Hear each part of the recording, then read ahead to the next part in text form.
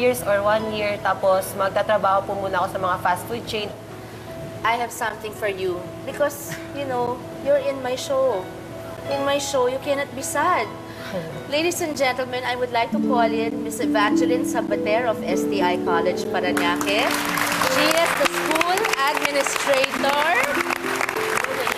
And ma'am, would you please show us what you have for Jobel? On behalf of STI College Paranaque, we would like to award this gift of knowledge certificate which you can enroll, Jobel, in any four-year course offered at STI College Paranaque. Com Arts, ma'am. Com Arts.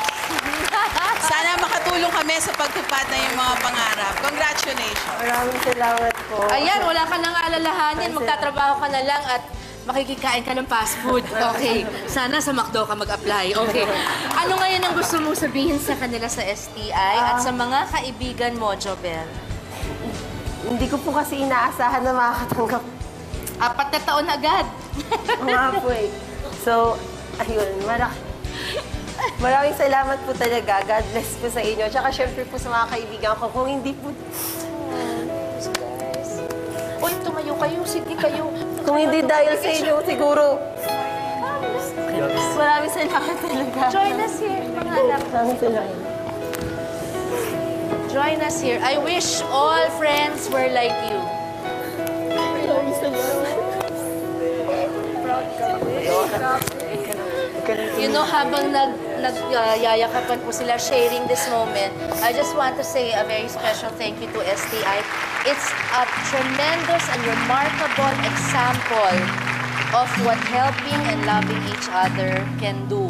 Hindi kailangan mayaman, hindi kailangan may power, pero may pagmamahal at pagmamalasakit, sariling allowance binabawasan para matulungan makapagtapos ang isang kaibigan. May God bless each and every one of you kids. You are all remarkable people. Now make us all proud and be remarkable Filipino citizens. Okay, guys? Okay, ma'am, salamat po. Salamat sa inyo. Mabuhay kayo, STI. At higit pa sa kahit anong halaga ng pera o yaman, ang patak-patak na malasakit, basta't nanggagaling ito sa puso ng isang tunay na kaibigan. God bless you, Jobel.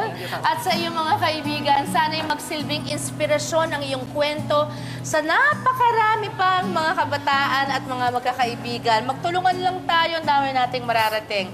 Susunod, kilalanin natin ang dalawang celebrity friends na kilala sa pagiging prangka. Sa pagbabalik yan ng Sharon, kasama mo kapatid. ang